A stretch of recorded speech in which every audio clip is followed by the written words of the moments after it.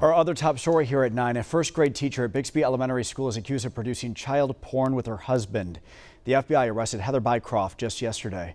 News on 6's Grant Stevens joining us now live with what he is learning tonight from investigators. Grant? Hey Brian, Heather teaches here at Bixby East Elementary School, and the FBI says they have video evidence of her and her husband Jason making several pornographic videos, some involving children just six years old.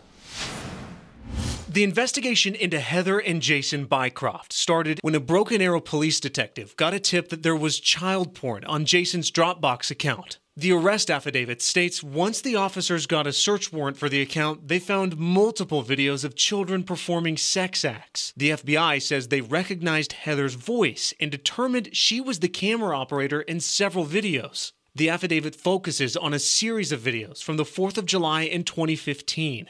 Investigators say the videos showed Jason holding up a six year old girl in the pool, repeatedly trying to expose her to Heather's camera as she zoomed in. The FBI says, quote, the manipulation of the juvenile shorts is overt, intentional, and not an accident.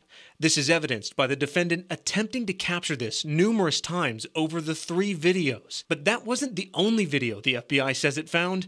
Agents say they found more videos, parts of which showed Heather's face, where she used a camera to record up women's skirts. Bixby Public Schools released a statement today saying, quote, to learn that a Bixby teacher entrusted with the safety and well-being of children may have been involved in conduct as abhorrent as what has been alleged is highly disturbing. I contacted the Bycroft's attorneys and I haven't heard back yet. Bixby Public School District says they don't believe any of its students were ever involved in any of these videos and they've since suspended Heather. Live in Tulsa County, Grant Stevens, Oklahoma's own News on 6.